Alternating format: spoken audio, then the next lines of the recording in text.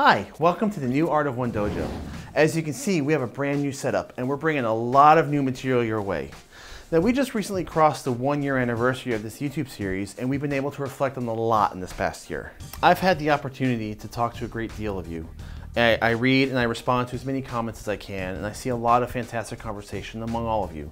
So to kick off the first set of videos that we're filming in our second year, I thought it would be appropriate to revisit the topic of our very first episode, what is the best martial art?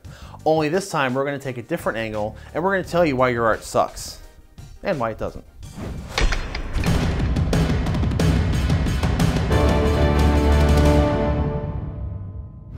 In the first video we did, we talked about what the best martial art was. We went over a lot of talking points about first determining what your goals were and what style would best help you reach those goals. There was incredible feedback and great discussion, and I was extremely happy to see everyone's different perspective. And as the channel went on, I was very pleased to go back and look at previous videos and find that discussions had kept growing among viewers who were sharing different experiences and recommending arts, schools, different ways of practicing. It was a true sign that we were on to something good here and that the channel had a chance to develop a great community. But then we have the flip side, and we've all seen these comments, particularly in any of the art history episodes. You know what I'm talking about. The ones that say, your art sucks. Now, there's no surprise or secret that YouTube has its share of trolls, but it's actually not the negativity that bothers me about the statement. What bothers me is that they're right. you heard me, they're right. Your art sucks. My art sucks. Their art sucks. The problem is, most of the time when the person says that, they don't know why they're right. You know, most people who say that they disparage other arts, they're just trying to say that, you know, they found something better, they think they're superior, or, you know, this will work, but that won't. That's a misconception. Now, I've said this before, and I will forever stand by it. Every art, every single art in the history of martial arts has its place. Every art, given a good teacher and school, has something of value to offer. They work for somebody at some time. They wouldn't have existed otherwise. The real kicker, however, is aligning that value with what your needs are. I have talked to so many people about their experiences, and if anything has become crystal clear is that there are countless reasons why a person may pick up the martial arts. Self-defense is a significant and probably the most common reason. But some people are interested in competition, and I've talked to a lot that have gotten into professional fighting. Now those experiences are fascinating and they deserve a lot of respect. It takes true discipline to do that. I've even known a handful of people who have trained seriously and have actually used their skills in combat. Not tournament or street fight, but I'm talking about actual life and death, game over combat. A person like that has seen a lot more reality than the most of us have, and you better believe I'm going to give them a little bit of credence in what they say. Now, while the martial arts may have been initially born out of conflict and war, hence the word martial, let's not forget that the word art is also present. And it's in this perspective that I find the interpretation interesting. Not everyone trains to fight. Some people want a great workout and they find the arts more mentally rewarding than going to a gym. Others are interested in the observation and preservation of a culture. Then you have some people who are disabled and find strength in the arts, both physically and psychologically.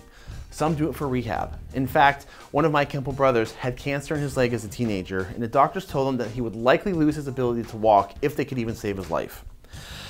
After he recovered, he chose to take up the martial arts as a form of rehab. Something about Kempo spoke to him and he signed up and he pushed himself to his limits. Not only did he walk again, but he worked hard and he has currently earned his way up to third degree black belt and even experimented with cage fighting. That is honestly one hell of an accomplishment and I challenge you to tell me that his art sucks. Maybe it doesn't hold any value for you, but it sure did for someone else. Another friend recently brought to my attention a video on YouTube, and I'm going to list it in the description below because the sentiment actually echoes a lot of what we believe on this channel. It's a video by a martial artist named Lloyd Irvin, and he talks about how his viewpoint changed after an experience with an incredibly scary home invasion.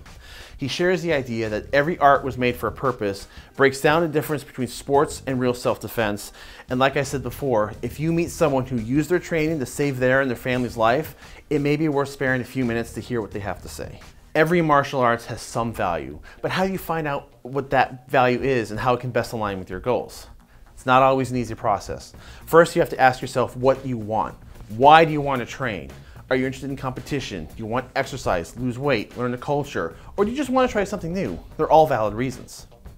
Now, if you're interested in competing, perhaps focus on arts such as Brazilian Jiu-Jitsu, boxing, Muay Thai, Judo, Taekwondo, Kyokushin. If you're looking for self-defense, things like Kempo, Krav Maga, Wing Chun, Hapkido, Jiu-Jitsu. Is weapon training warrior game? Kendo, Bujinkan, fencing, Kobudo. You want something that's more acrobatic and fluid? Capoeira, Wushu, they're awesome. If you're interested in culture, there's also a lot to choose from from Japan, Okinawa, to Korea, Russia, India, China. There is absolutely no shortage of choices. Whatever your interest is, try to narrow down a couple of options and go visit the schools. And don't just sign up for the first place you visit, even if it seems perfect. Look around for a bit, then make an educated decision. Hopefully they'll let you try out a class or two before you make any commitment. Okay, so when somebody says that your art sucks, there's usually a follow-up comment. So let's address some of the most common ones that I've seen crop up. That art is BS. Okay, cool. Can you elaborate? I'm not saying you're right or wrong, but if you expect to be taken seriously, then I would suggest adding a wider perspective on why you feel that way. Perhaps you have an excellent point and this could open the door to a great discussion, but if that's all you can say, then you've said all we need to hear. Mr. XYZ is a fraud. Honestly, I don't really engage in these comments because there's really nothing productive here to talk about. Usually, comments like this are meant to incite trouble and are saturated with politics. I've had a lot of people try to start arguments with me over the years that don't like Mr. Parker for one reason or another. Trust me, I've heard both sides of the camp. Most of the stories I hear are personal issues that went back between two people 20 to 30 years before I was even born. It has no consequence on my training, and if someone tries to do this to you, it should have no consequence on yours. That's just toxic politics. How come I haven't seen karate slash kung fu slash kempo win in the UFC? This one is interesting because they're actually correct. They are absolutely correct. You don't see Kempo win in a UFC match, nor Shotokan, nor Kung Fu. But guess what else you don't see win? Brazilian Jiu-Jitsu, boxing, Muay Thai. Individually speaking, contenders with only a single art aren't going to fare well in the ring. The UFC and other ring fighting is an MMA sport, operative word being MMA or mixed martial arts. MMA fighters are so good not because of one art that they train, but because they have found the right mixture of arts that they work and they've blended together. You need solid footwork, a good stand-up game, powerful strikes, and you need to be proficient in grappling if you want to be successful in the sport. The art is in the mix. How many UFC fighters can you name that only have experience in Brazilian Jiu-Jitsu? Usually they have BJJ in combination with a strong striking art such as boxing, Muay Thai, Karate, Kempo, or another traditional art. The ring is not the almighty be-all, end-all to the value of an individual art. This is an important distinction. And related to this is a personal favorite I get a lot. Well, how come you never see Kempo techniques pulled off in the sparring match? There's a lot to this answer and something I'll get into further and elaborate more on in a future video, but the short answer is you do. If you have real Kempo experience and you understand how it teaches and how it works, then you can pick it out all day long. The techniques aren't meant to be copied and pasted right into a fight. They teach fighting tactics and example scenarios. Those tactics are then meant to be understood and applied later in a freestyle fashion when they do apply. But on a fun note, I did witness someone successfully pull off the Kempo technique lone kimono in a sparring match. It was unexpected and beautiful at the same time. Next one is, but it won't work in a fight. This one is a little bit of a tough one to address, but honestly, it provides some great discussion. Fights are not a one-size-fits-all type scenario. Fights usually occur when emotions boil over, so you have people at their angriest. Do you realize just how volatile and unpredictable that can be? The best case scenario is people just get a little scuffed up and roughed up, but in the worst case, it can be far more devastating than that. You have a range of severity from a minor scuffle to a life-threatening situation. You have to consider if it's against one person or two or more. Are there weapons involved? Is this a stand-up fistfight or was this a blind attack? There are so many variables at play that I feel it's a severe injustice to any art to say it's worthless in a real fight. Sure, you have some of them that are more attuned for face-to-face stand-up fighting, while other arts might be more conditional, but let's turn the tables here a little bit. To say that karate or kempo or kung fu won't work in the ring is a fair statement. But just because something works in the ring does not mean it's going to work in real defense either. In the sport of MMA, a person trains to specifically face off with one other person on a flat, controlled environment with a set of rules and a referee. These fighters are usually very tough, extremely well conditioned, and very skilled at fighting.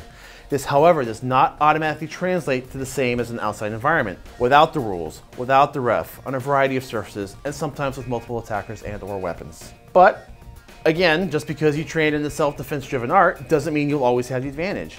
You never know what the other person knows. We might have the same anatomy, and different arts are just different ways to move. But the real skill and defense is going to come from one, how well you can understand movement, two, read a situation, and then your ability to react accordingly. There is a big, big, big difference between sport combat and real life combat. And just because someone is proficient at one does not mean the skills automatically translate to the other. Look, there's no such thing as the perfect art. It's a sliding scale. The better an art is in one area, chances are it's more lacking in another. I love Kempo. It's a fantastic art in my opinion, but it's not gonna fare well against a ground fighter. Brazilian Jiu-Jitsu is an incredible art, but it lacks the striking power of boxing. But in boxing has bombs for strikes and it has incredible footwork, but it lacks the kicks. We could play this game forever. Every art has an advantage at something while sucks at something else. So it usually comes down to how good that individual is with the skills that they know. But sometimes it can also be reduced to just a matter of luck. So, does your art suck? The answer is both yes it does and no it doesn't. We need the context. And honestly, the better question is, do you know your art's strengths and weaknesses? Most of the time, if you can identify an area of vulnerability, you can usually address it with a mixture of another art. The key is to find the perfect blend for you. If you can do that and you're willing to put in the sweat equity needed to excel, then you can stand tall and proud and know that the value of who you are and what you practice. We welcome all views here, and if you have an opposing opinion, then please by all means post them. But I just ask that you keep it civil and try to put some rational discussion behind it, and I think we can all learn a lot from each other if we're willing to do it. You guys have been incredibly awesome and you've gotten to this point and going forward towards newer goals. So please be sure to check out our store, join us on Patreon, and help support this community and you get access to additional content. And also please be sure to subscribe and click the little bell icon for future notifications and we'll see you next time. Thank you so much.